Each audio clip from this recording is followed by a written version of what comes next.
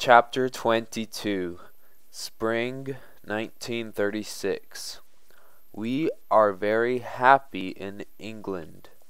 The house called Long Barn stood at the far end of the village of Sevenoaks Weald in Kent. Crooked, rambling with tipsy floors and slanting walls, it sat on a hill looking, overlooking gardens, fields, and farms. The Lindberghs laughed for joy when they saw it. It'll do, said Charles. At first, after living in Liv- Liverpool, the family had headed to Wales, where they spent two secluded weeks in a private country manor just west of Cardiff.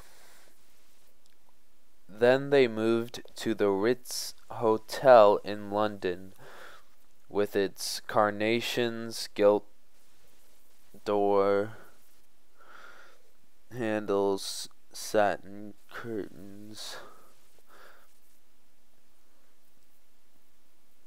mirrors, and the telephone, and the sense that anyone may drop it drop in at any moment.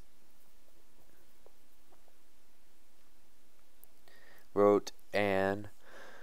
It was a luxurious base from which to serve for a suitable home in the surrounding countryside. But house hunting hadn't gone well. When you get to the country, there are only thatch roofed farms. No in between, no lovely uh, old house. Anne complained in her diary. I have a headache from peering at signs in the long drive. A month later, they were still at the hotel. That was when Harold Nicolson, the friend who'd been with them the night of the Hauptmann verdict, offered to lease them Long Barn, his country house. We have been bothered very little, Anne wrote to her mother, and seem to be left quietly alone here, both by people and press. No one grabbed at Charles or demanded an autograph when he walked through the vi- village.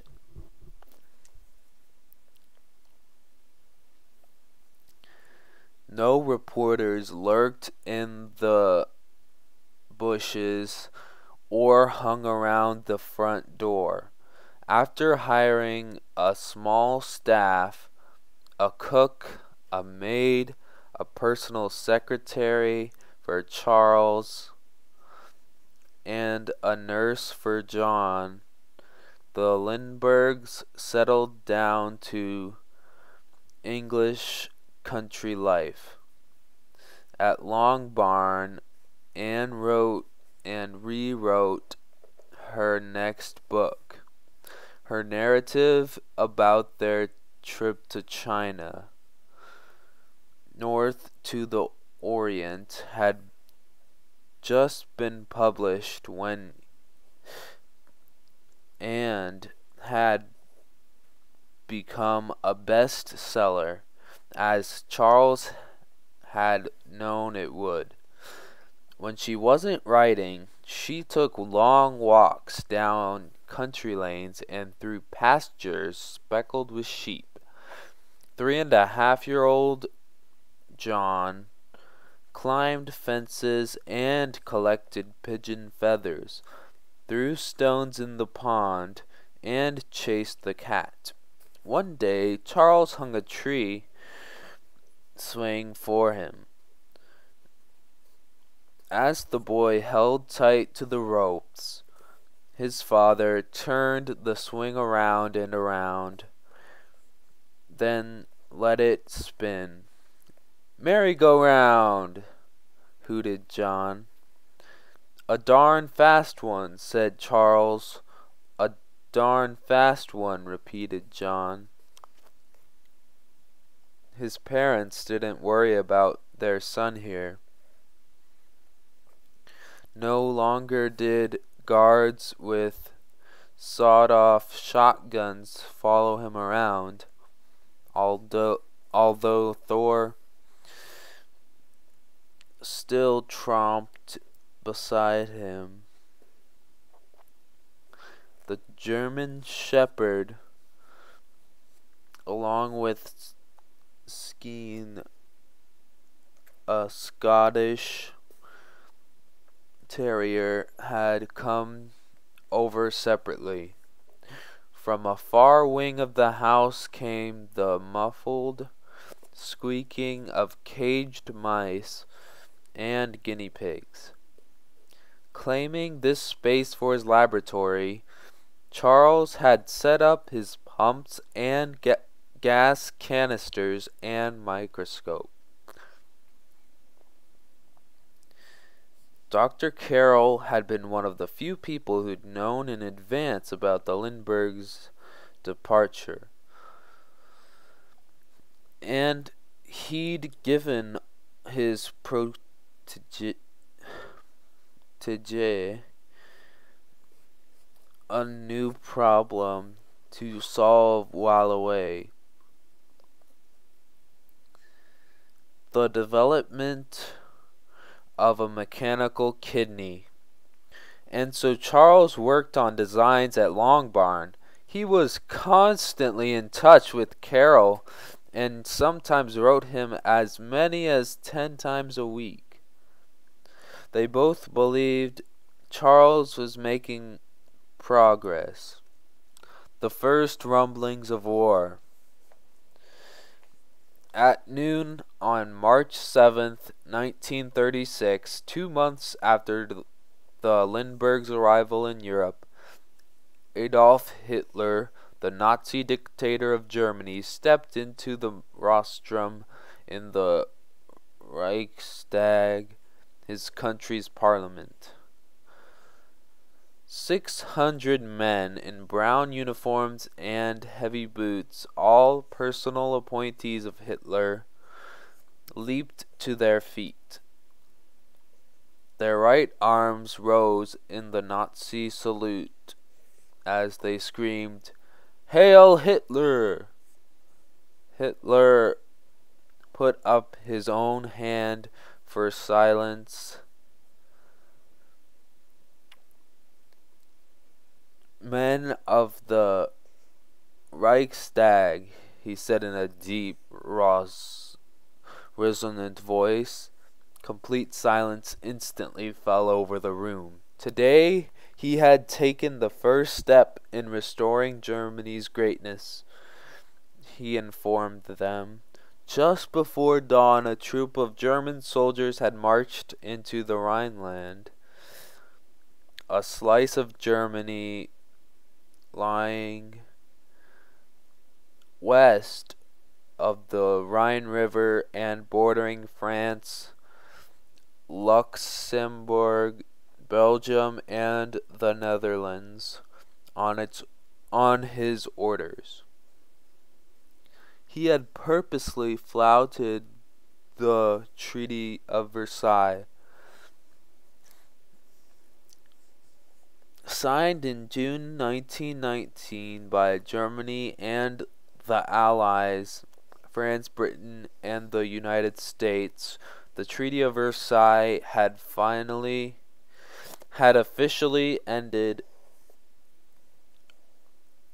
World War One. Additionally, it imposed stiff and punishing peace terms on the defeated Germans by including clauses that forced them to take full blame for the war and to pay steep financial reparations. But it was the clauses that dealt with disarmament that humiliated Germans most, reducing their army to just a hundred thousand volunteers and prohibiting them from building warplanes and tanks. The Navy, too, was slashed, forbidden to manufacture submarines and large ships. Particularly frustrating was the classification of the Rhineland as a demilitarized zone. In other words, even though Germany had economic and political control of this area, Germans could not do as they wanted there. All German military installations, activities, and personnel were bar- barred. These terms the Allies believed would permanently cripple the German army and create a military free area between Germany and France that would ensure future peace. But almost as soon as the treaty was signed, the Germans secretly began to rebuild their military. Manufacturers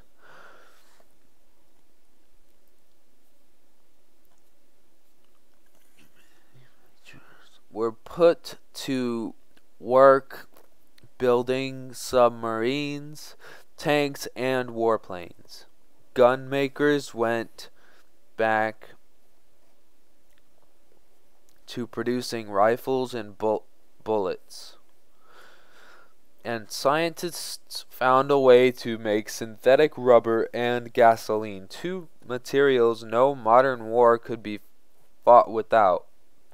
Soon, these products were being produced and stockpiled in four underground factories. By 1935, France and Britain knew about Germany's secret rearmament, and, eh, but they did nothing to stop it. The Great Depression had forced them to deal with problems within their own borders. French and British lack of will to enforce the Treaty of Versailles was the reason behind Hitler's orders that morning. He was convinced he could get away with it.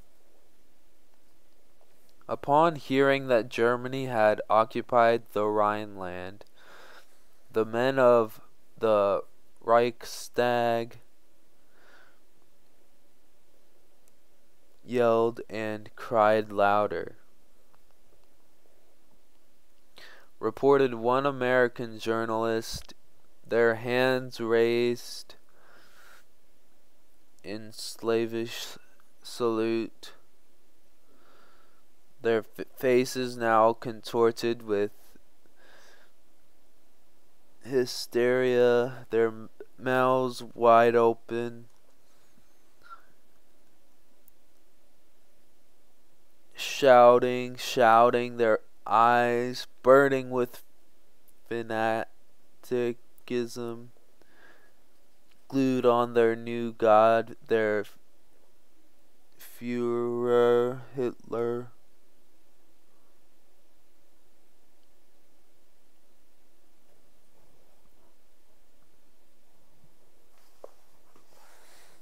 A charismatic leader and mesmerizing speaker, Hitler had been the leader of the Nazi Party since its establishment in 1920. He had a passion for German nationalism and a burning hatred of democracy, communism, and Jews. He believed that God had chosen Aryans, white people, and most especially Germans to be the master race. and he envisioned a greater Germany, a vast new empire that would include all the German speaking Aryans in Europe. Of course, this new empire would require space, therefore, Germany needed to expand east under a policy called Lebensraum or living space. The proposed conquest of Central and Eastern Europe, as well as the Soviet Union. The people already living in these places would simply have to make way for the Germans. As the master race, they would have dominance. All this would be run declared by declared Hitler by a dictator with an array of lesser leaders taking orders from above and giving them to those below. At first, Hitler's views had not struck a chord with the Germans. Before 1930, the Nazi Party had been considered a fringe group on the radical right of Germany's political spectrum, and it had received just 2% of the national vote in the 1928 elections.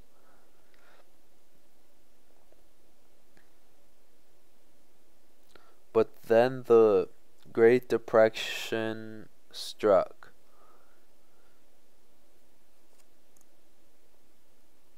Almost overnight, three million Germans found themselves out of work. Many lost their homes and their savings, and they blamed their government, a parliamentary republic established by the Treaty of Versailles for the downturn. Out of want came fear, and out of fear came fury. Hitler tapped into their, these feelings.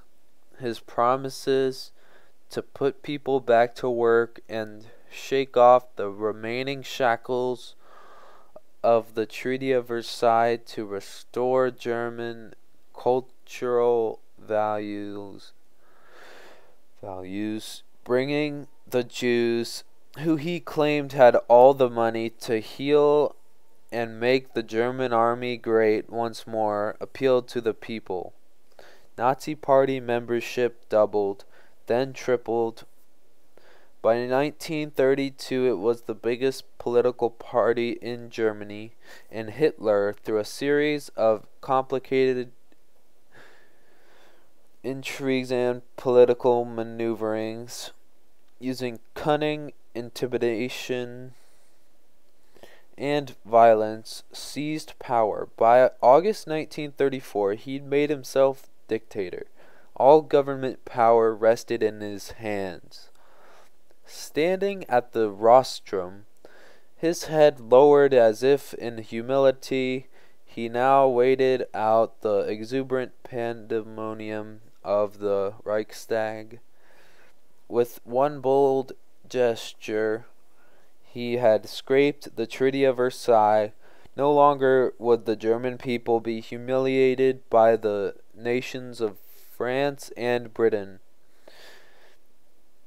His voice still low, choking with emotion, he uttered a final promise. I swear to yield to no force whatever in restoration of the honor of our people. News from the States.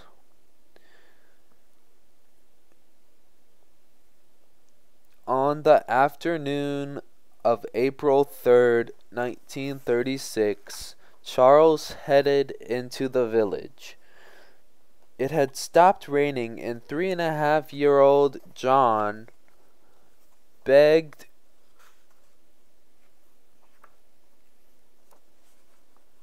to come along. As they walked,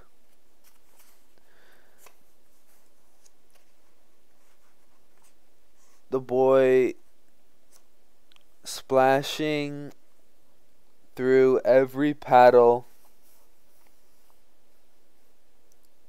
puddle. Charles pointed out the rain beads on the outside of the lupine leaves. Didn't they look like stars? A cable was waiting for him at the post office. Would like to offer full facilities of the United States of the United Press of America if you should desire to make any statement whatsoever in connection with Hauptmann's execution. More than a year of complicated legal wrangling had passed since Hauptmann had been found guilty.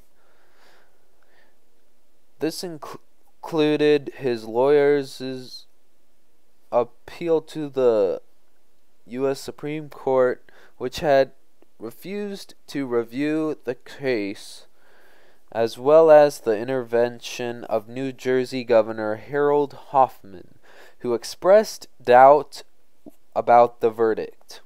I am worried about the eagerness of some of our law enforcement agencies to bring about the death of this one man, he told the press, so the books may be closed. Convinced Hauptmann had accomplice accomplices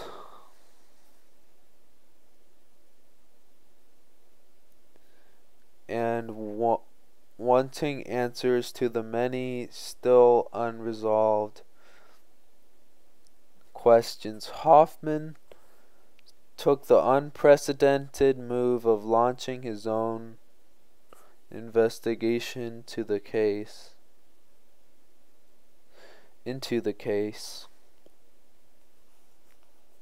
when no new evidence turned up, the governor tried to bargain with Hauptmann.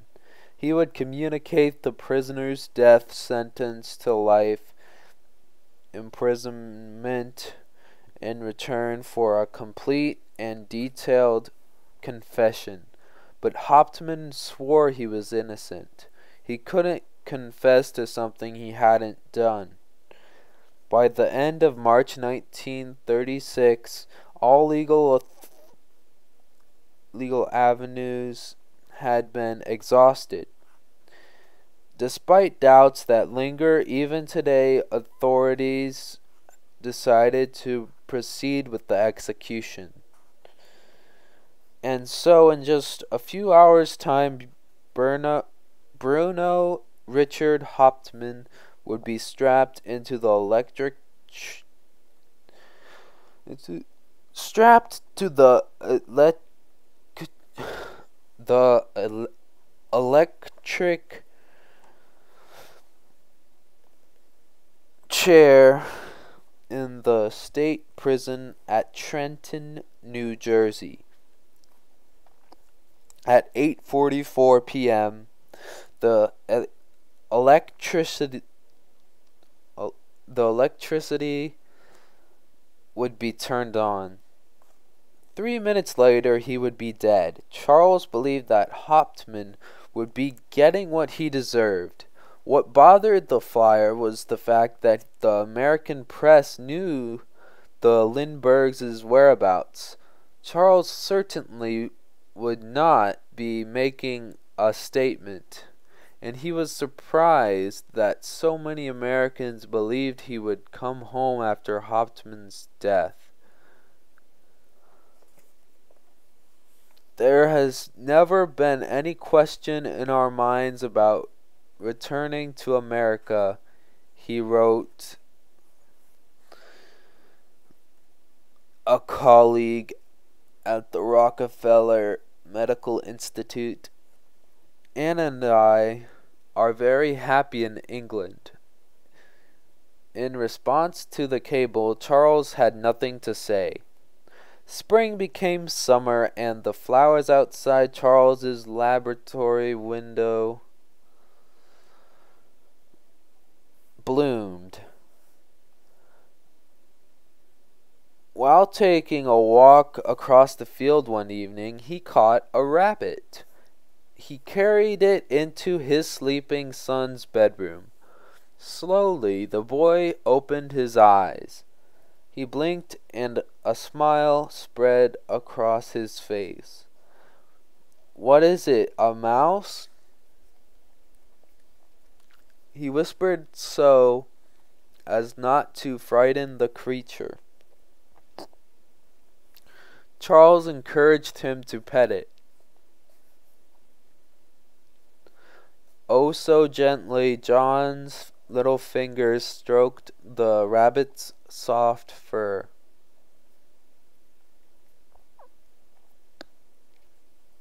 Then Charles took it back outside and let it go in the garden.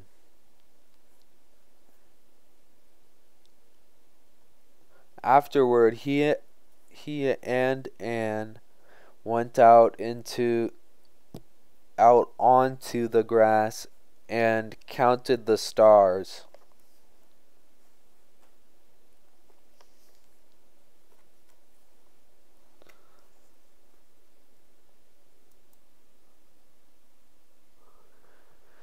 Flying in Europe. Charles didn't completely bury himself in the English countryside. Aviation still fascinated him. So, not long after moving into Longbarn, he took a weekend and visited some nearby aircraft manufacturers. He was appalled at what he found. Much of Britain's aviation industry had been allowed to simply rust away since the end of World War One. Charles didn't understand it. How could the English be so short-sighted? They didn't didn't they see the import importance of an air force, still he found some cause for hope. Just that year, the government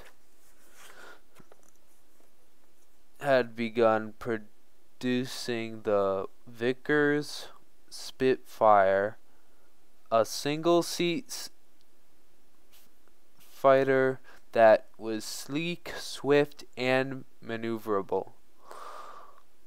Still, there weren't yet enough of them to provide much fighting power. He wondered what other countries were producing. He soon got the chance to find out. At the end of April, he borrowed a small airplane and flew to Paris. Dr. Carrel had put him in touch with a biophysicist with whom he could discuss his work on the mechanical kidney. Little about Paris impressed Charles. Almost a decade earlier, he'd landed in a vibrant city, but city its people wild with excitement over his transatlantic Atlantic fight.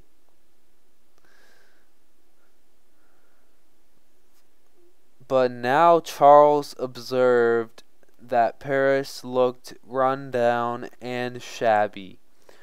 Buildings were boarded up, roads and bridges needed repair. Parisians suffered from fuel shortages and labor strikes and weak leadership.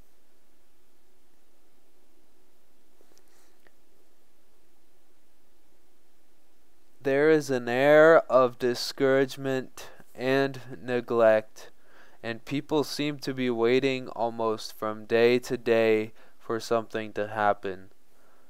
The airplane factory he visited was also down at the heels, inefficient by American standards. The manufacturer used cheap materials, and its mechanical designs were behind the times. While it did have a warplane prototype, the Morane Saulnier MS-406 engineers predicted it would be another two years before it could be put into production. What amazed me was the fact that France did not have a single modern fighter available for defense, Charles wrote. Meanwhile, in Germany, on a Sunday morning in May 1936, Major Truman Smith, military attache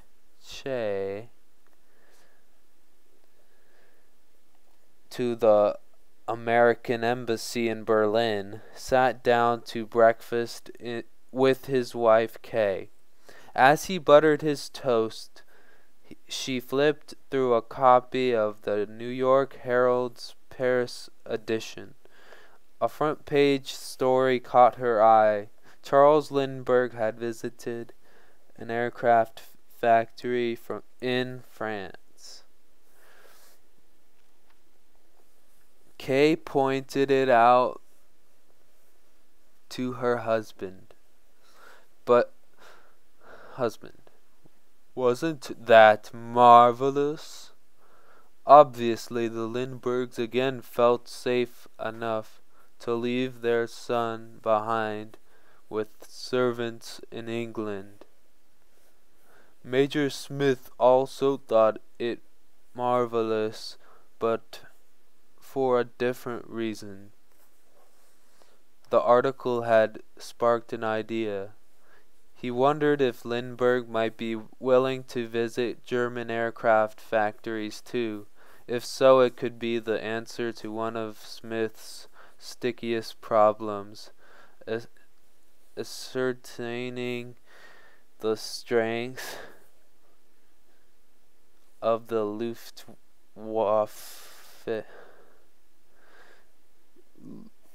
the Nazi Air Force. Everywhere Smith looked, he saw airfields being built and barracks and factories springing up. As attache, he was in charge of army and air intelligence, and it was his job to compile data and statistics for the United States about Germany's rearmament.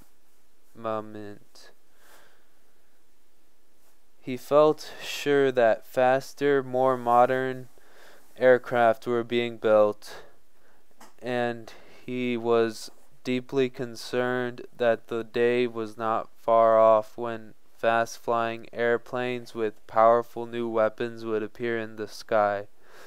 What exactly were the Nazis building? Despite his well cultivated connections with the Reich, his information remained sketchy. But a visit from a man of Charles Lindbergh's stature. Well, that would surely unlock a few Nazi secrets especially if Smith promised the heroes attendance at opening day of the 1936 Summer Olympics in Berlin. And Hitler was making elaborate preparations to showcase the Nazi regime. With the world spotlight on Germany, it was his chance to extol the vi- virtues of the Third Reich cast himself as a strong, sane, and tolerant leader and prove that Germany had crawled out of the economic ditch of the Depression. Most importantly, he wanted to show off the fatherland's athletes.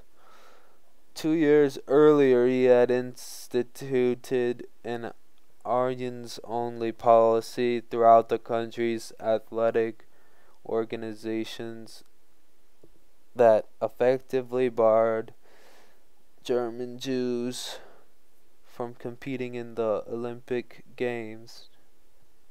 Now he found, now he touted the German Olymp German Olympic team as the stars of the Aryan race, not because of their athletic training, but because of their pure genetic makeup. The Olympics would be a, the symbol of conquest of the world by National Socialist doctrine, remarked one American embassy staffer working in Berlin. In short, it was a propaganda bonanza. As part of this propaganda, the Nazis hoped to attract celebrities from all over the world to the games. And who was a bigger celebrity than Charles Lindbergh? Major Smith presented the Nazis with his idea. Recalled Smith, it was my impression that German air ministry would like nothing better than to gain favor with Hitler by presenting the world famous flyer as a special guest of the Luftwaffe at the uh, Olympics. Smith was right. Eager to strike a deal, Air Minister Hermann Goering agreed to show Charles factories, research facilities, and combat in units in return for his very public appearance at the games. Two months before opening day, Smith wrote to Charles extending Goering's invitation. I consider that your visit here would be of high patriotic benefit, he added. I am certain that they will go out of their way to show you even more than they will show us. Smith was appealing to Charles's sense of duty, although he abandoned his, his country, the pilot still retained the rank of colonel in the Army Air Corps Reserve, and he had no doubt he was being asked to go on a military mission. Clearly excited about the prospect, he wrote back immediately he'd be happy to visit Germany with his wife he replied, All he asked was that he be treated like any other private citizen, no press conferences, parades, or special honors. Charles didn't express any concern over the darker side of Nazi Germany. Just eight months earlier, Hitler's government had passed a series of racial purity laws stripping German Jews of their citizenship and des- designating them as subjects. Other laws already on the books barred them from public office, the civil service, journalism, or any mass media, farming, or teaching in German universities. These laws weren't passed in secret, and newspapers around the world had given them front page coverage. In fact, in March 1934, on a day Charles was working at the Rockefeller Institute, 20,000 Americans had jammed into nearby Madison Square Garden to protest worsening human rights in Germany. Eyewitness after eyewitness had detailed the terror and misery they'd suffered at the hands of Nazis. The crowd in a mock trial had even convicted Hitler as and his regime for crimes against civilization. The event made national headlines. It is doubtful Charles could have missed all this and he certainly could not have overlooked the cable he received just before leaving for Germany. It was from Roger Straus, co chairman of the National Conference of Christians and Jews in the United States, an interfaith organization dedicated to ending religious pr- persecution. Straus urged the Lindberghs not to go. I am convinced that the German propaganda department will try to interpret your visit as an approval of their regime, he warned. Charles ignored Straus's entreaty his trip was about aircraft, not politics. How, he wondered, could his appearance possibly give aid to anti Semitism?